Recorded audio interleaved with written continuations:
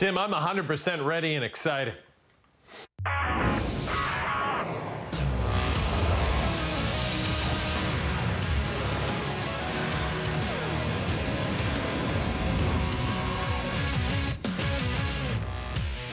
am 100% ready and excited because it's time for another edition of our exciting television program from home. It's Sports Center with Jay and Dan. It's brought to you by our friends at McDonald's, and it is an absolute scorcher in the city of Toronto on Wednesday, Dan. And that means, in my opinion, it is perfect soccer weather. Sock weather? Yeah, sock weather, Dan. That's what I said. Sock weather soccer weather. Oh. I thought maybe it was a tradition in your house in the summer when the heat comes on, put on the socks. Uh, hey, um, the MLS, when I heard the return to play format, you know what? I think they have the best return to play out of all the professional sports because wait till you hear this. It is going to be called the MLS return to play tournament. And you know why I'm excited? Because it's going to be like World Cup. All 26 clubs going to participate with every match taking place in Orlando. Format very similar to World Cup. There's going to be a pre-tournament draw to assign groups, a group stage followed by a knockout round. How cool is this? Luke Wileman has more. Finally, for 2020, MLS is back. Here's everything you need to know about the MLS is Back tournament, which kicks off July 8th at ESPN's Wide World of Sports. All 26 teams will be split into six groups, with three groups for each conference. Each club will play three group stage games, and they'll count towards the regular season. The top two teams from each group, along with the four best third place finishers, will move on to the knockout stage. We came up with this concept of a 54 uh, match tournament similar to the very successful World Cup here in 1994, where 24, only 24 nations competed. Knockout round matches that finish tied at the end of regulation play will proceed directly to penalty kicks. And the club that wins the tournament will be rewarded with a CONCACAF Champions League berth. The tournament will include a prize pool of $1.1 million. And very importantly, something that was just finalized this morning with the support of CONCACAF and U.S. Soccer and the Canadian Soccer Association. The winner of the tournament will earn a spot in the 2021 Scotiabank CONCACAF Champions League. Teams will begin to arrive in Orlando on June 24th. Players can opt out if they're granted an exemption due to medical or family conditions. There's no confirmed plan for what happens following the tournament, but the league is hopeful they can return to regular season play with games in home markets. Each MLS club played two regular season games before the league suspended play back on March the 12th. I'm very optimistic. I do believe we'll get back to our markets. I think all of our fans should expect that to happen. When that will happen is still uh, uh, uncertain. Uh, and whether or not we'll have any markets with fans is also uh, uncertain. The Commissioner also said on Wednesday that without fans being permitted to attend matches, neither the Canadian or US anthems will be played during the Orlando tournament. I'm joined by Kristian Jack. And KJ, since news of this tournament started to break a few weeks ago, you have been adamant that it has to matter. They had to do something to make sure it just wasn't another tournament that these teams are playing in. So regular season points will be given for the group stage. The winner of the whole thing will get a place in the CONCACAF Champions League next year. Has MLS done enough for you? Yeah, I think they've done enough. I think it's a good compromise. Look, I think initially when the when the announcement came out, there was more games being played down there. I think ideally that would have been a better scenario. And obviously players didn't want to be down there for longer and they needed to find a way to get a knockout stage competition here. So I think it's enough to get three regular season games counting towards regular season standings when obviously they return back to playing in their own markets after the tournament. And they have something to play for. They have a berth in the CONCACAF Champions League, which is significant, particularly for Canadian teams, a different route to get to that competition. So I think that's enough as well. And also the, the ability to try and win something, win a tournament, and have that competitive drive, which sometimes is disappearing from Major League Soccer, particularly in the summer months. What shape are the three Canadian teams in heading to Orlando? Well, Toronto FC will be seeded in Thursday's draw. We know that because they reached the semi-finals last year. Obviously, they reached the final, but the four semi-finalists have been allowed to get seeded for that. So they'll be seeded.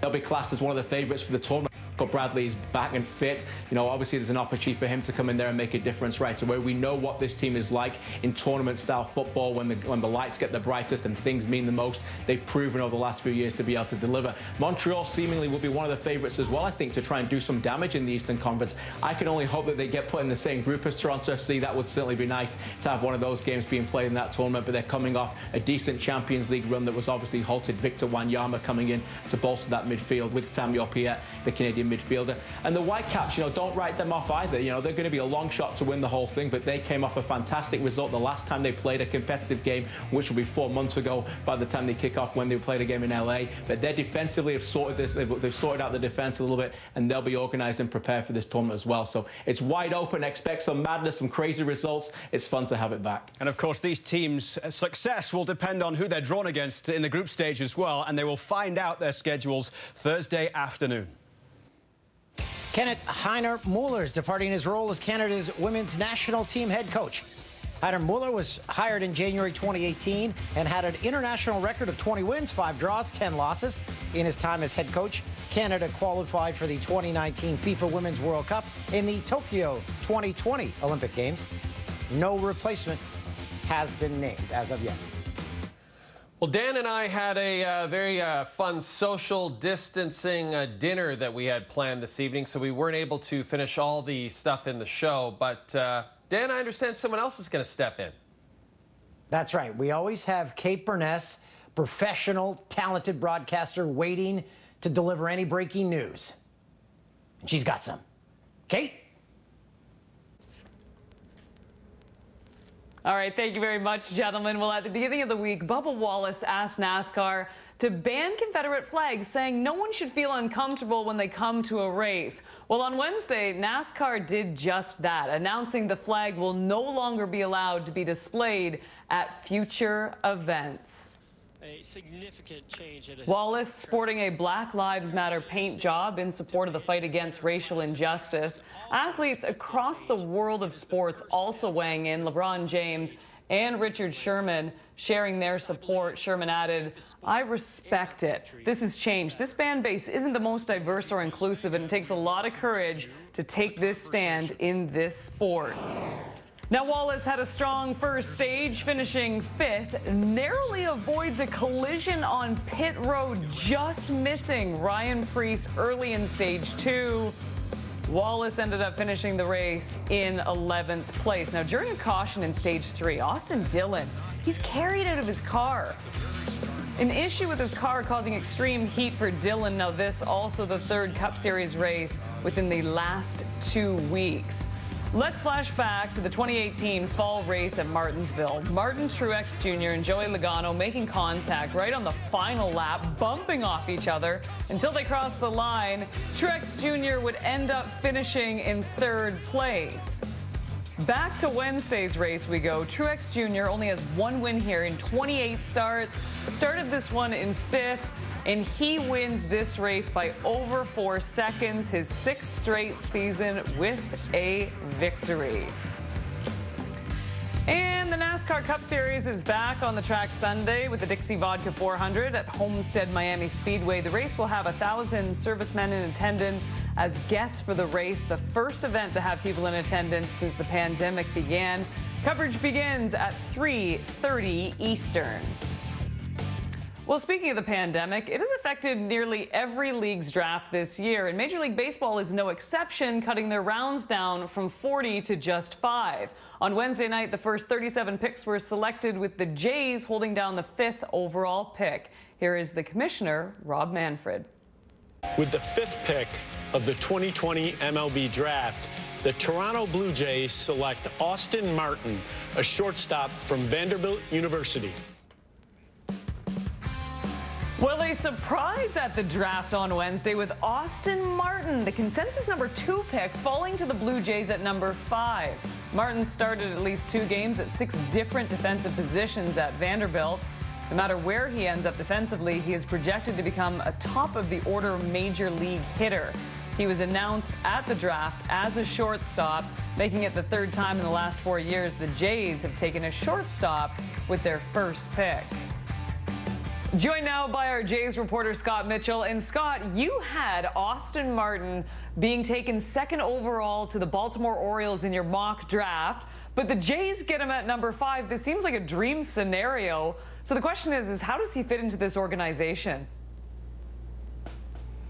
Well, that's the thing. You mentioned it. And the way he fits is he fits in a number of ways, potentially both with the glove and with the bat. But the Blue Jays did not expect him to be there at number five. And just about nobody did. Everyone had this guy going in the top three. He plays for one of the best programs in the country at Vanderbilt, a team, a program that really just uh, spits out star after star. And this guy was really supposed to go to the Baltimore Orioles, a division rival of the Toronto Blue Jays. And now he's a Blue Jay, and the Blue Jays were absolutely elated to see him there, talking to Shane Farrell, the Blue Jays scouting director, after the draft, shortly after he made the pick. They didn't have him being there for them, and they love it. They see this guy as a potential 300 hitter with 20 homer upside, and the best part is the uh, defensive versatility. He's played shortstop, he's played third, he's played second base. He can fit in center field as well, and that's where the Blue Jays may play him. They announced him as a shortstop. They're going to develop him as an infielder to try to keep that versatility. But the best part is this guy can land at whatever spot the Blue Jays have a need when he's ready for the big leagues in a couple years. The last time the Jays had a pick this high, 1997, when they selected Vernon Wells. A very exciting time to be a Jays fan. Thank you very much, our Scott Mitchell. I can already hear the Austin Martin, Auston Matthews mix-ups and highlight packs. Don't forget, we have coverage of rounds two through five of the MLB draft Thursday night on TSN. Coverage begins 5 Eastern. We'll get you back to Jay and Dan next. Uh, NASCAR's in full swing. UFC's back. This week we'll get the PGA back. We told you MLS is coming back soon. NHL, NBA. Dan, it seems everybody's coming back except for the sport that could probably be ruling the sports landscape right about now, and that is baseball. That's right. They can't figure out the salaries. They can't figure out the number of games. Our good friend Dave Hodge sent out a funny tweet on Wednesday. He said, if they play a 50 game season, it'll take me about 50 games to get into the season. So um, let's, uh, uh, let's find out if Karl Ravech got any um, new info from the MLB Commission. We're playing 48 games, boys, and let's get ready to go. How will you feel if that's the end result of this? I'll be disappointed that we're unable to reach an agreement that allows us to play more games. Um, but you know what? I think at the end of the day, the most important thing, and I'm not buying into your number of 48, the most important thing is that we play Major League Baseball in 2020, and I can tell you unequivocally we are going to play Major League Baseball this year. Roger Federer is going to miss the rest of the 2020 season after having a second surgery performed on his right knee. The 20-time Grand Slam champ recently suffered a setback after his first operation four months ago. Federer hasn't played since January when he lost to Novak Djokovic in the semis at the Aussie Open. But Jay, I'm pretty sure that Federer, um, he'll be still be able to make rent because uh, he, he's okay in the bank account. He's he's almost got that uh, Molson type money. Yeah, uh, well, you know, I don't know if Geoff Molson has a deal with Uniqlo, but I think Federer's deal with Uniqlo is worth, well, basically all of the Molson family's net worth, basically. And Geoff oh, Molson, okay. who owns the Montreal Canadiens, uh, has been the subject of uh, a lot of uh, a lot of speculation, Dan, lately, because in a conference call Wednesday, he said he has no intention of hiring a president of hockey operations, saying that the club has full confidence in GM Marc Bergevin going forward? I still believe that we have an extremely exciting next few years ahead of us. Um, I believe that we have a great core group of veterans that are going to lead us through this. Um, we have some young players that are already on the team that we know are going to contribute. We've got some prospects coming that we are very hopeful on. And I still, the plan overall has been well executed despite um, some performance issues that we had uh, this season. We're on the cusp of having a really nice run for several years uh, with a with a team that's that's playoff ready uh, every year, and, and, and probably eventually we'll have a chance to, uh, to to win our 25th Stanley Cup. Well, turning to the Canadian Football League, Dan, CFL players have been very vocal on social media on the issue of racial intolerance. And as the president of the CFLPA, Saskatchewan Roughriders Solomon Elimimian has taken the recent events as a call to action. That's right, and we're hearing so many stories, uh, personal experiences uh, from players like Elimimian. Um, Farhan Lalji sat down with him, uh, well, virtually, the Als' Adrian Tracy and Ottawa's Nick Arbuckle to get their experiences and what they're going to do moving forward in the CFL roundtable. What conversations did you have with your parents about potentially having to deal with police? For me personally, uh, like make sure your hands are visible. if you get pulled over in a car, make sure that you have your your identification and everything already in a, a, visible spot, so they don't think that you're doing something to incite them to pull for their weapon. It's all about you know, like Agent says, carrying yourself in a way where, you know, what you have to maybe swallow your pride, but over comply, and um, you know, it's it's it's one where you kind of learn the lessons from from the streets. For me, I mean, I think my conversation that my parents had with me is kind of like the epitome of white privilege um, because I was told how to interact with police in order to avoid getting a ticket. Because if you were being polite enough and you were being really courteous and open and friendly, you might just get off with a warning.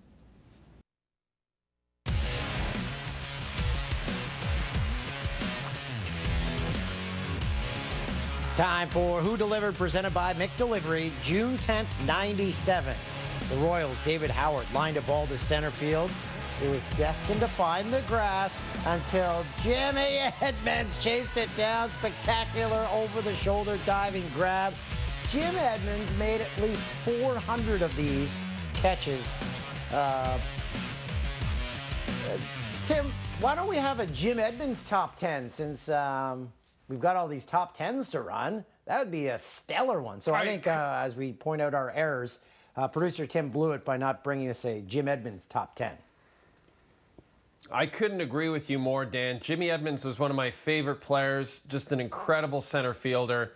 And producer Tim, very short sighted in not, uh, in not thinking ahead and putting uh, this Jim Edmonds top 10 together. Also, Jim Edmonds has been in the news a lot lately because he's going through a messy divorce. So uh, he probably wishes he was back. Well, uh, wasn't uh, he was back in the? Wasn't his wife on one of those? Uh, she was like one of the uh, Real Housewives. The Real Housewives of St. Louis. I don't think I have so. no See ya. Thanks for watching.